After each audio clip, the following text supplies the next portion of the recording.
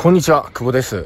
あの、今日朝 iPhone のね、11 Pro Max の素晴らしさをちょっとお話して、内容まで語ってなかったんですけども、今日こう公園に来てね、水鳥を撮ってみますから、これちょっとびっくりしますよ。やってみてください。これちょっと画面切り替えますね。どうぞ。まずはこのね、広い公園に来てます。湖がパーッと広がってますよね。向こうの方に点々に見えるのが、あカモですとかね、水鳥になっております。遠いですね。はい。寄っていきますよ。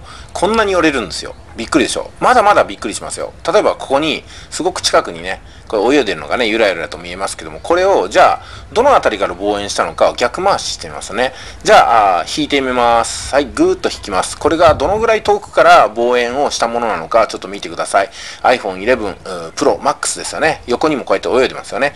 緩やかに引いていきますけども、きっとね、これびっくりしますよ。これ向こうまで海が広がってますけども、引きますよ。この魚、魚じゃないよ。鳥ちゃん見といてください。はい、ここまで引きましたよ。びっくりでしょ。もう点にしか見えないですよね。あれが先ほどの大きさまで来るわけなんですよ。びっくりじゃないですか、これ。すごいですね、もうね。